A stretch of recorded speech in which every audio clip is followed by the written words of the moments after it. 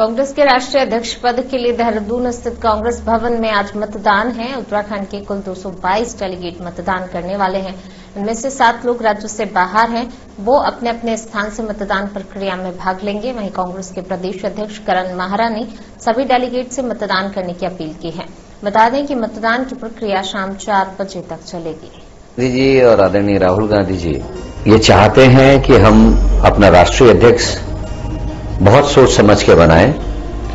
और राहुल गांधी जी ने जो भारत जोड़ो यात्रा प्रारंभ की है, कन्याकुमारी से कश्मीर तक की, उसका जो उद्देश्य है, उसको जो फलीभूत कर सके।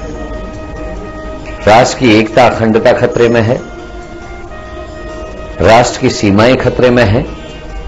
राष्ट्र का एक पार्टी पोलराइजेशन और वोट की नियत से लगातार सांप्रदायिक माहौल खराब कर रही है।